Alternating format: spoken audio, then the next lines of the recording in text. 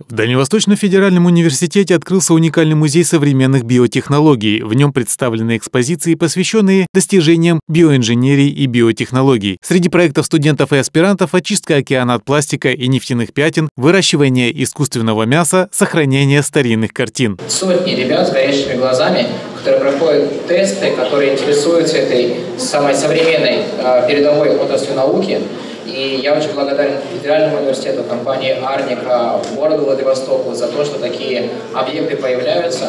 И мы, конечно же, будем дальше поддерживать как образовательные организации, так и коммерческий сектор для того, чтобы а, в Приморском крае, на острове Русский создавались подобные проекты для того, чтобы наши школьники, студенты видели перспективы своей реализации именно на самых передовых, самых, если хотите, высокооплачиваемых секторах э, развития экономики и бизнеса.